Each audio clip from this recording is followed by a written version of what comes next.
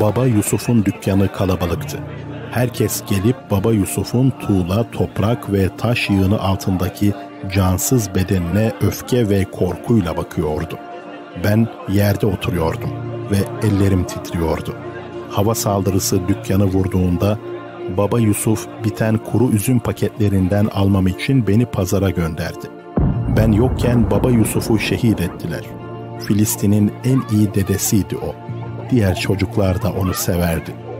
Anne babalarıyla alışverişe geldiklerinde Baba Yusuf onlara hep şeker verirdi. Bu nedenle küçük büyük her çocuk her zaman anne ve babalarıyla dükkanına gelir giderlerdi. Pazarda bir patlama sesi duydum. Ama bombanın büyük babamın dükkanına isabet edeceğini düşünmemiştim.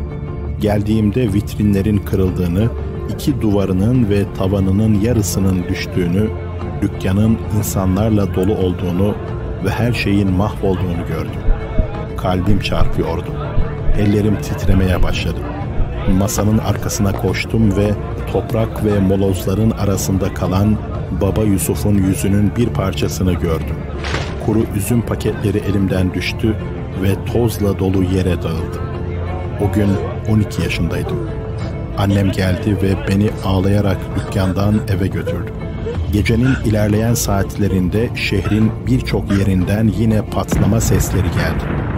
Ne zaman yeni bir patlama sesi duysam anneme sarılır ve bir baba Yusuf daha şehit oldu derdim. Annemin omuzları da gözyaşlarıyla titrerdi. O yıl 12 yaşındayken Baba Yusuf'un küçük dükkanının çatısı yıkıldığı ve Filistin'in en iyi dedesi öldürüldüğü için şehirdeki diğer çocukların daha az güleceğini, okula gitmeyeceğini, sokaklarda oynamayacağını düşünürdüm. Sonra öğrendim ki o gün Gazze'de dedem gibi bin baba Yusuf şehit olmuş ve benim gibi bin Muhammed yalnız kalmıştı. Şimdi birkaç yıl geçti ve ben Filistin'deki tüm baba Yusufların askeriyim.''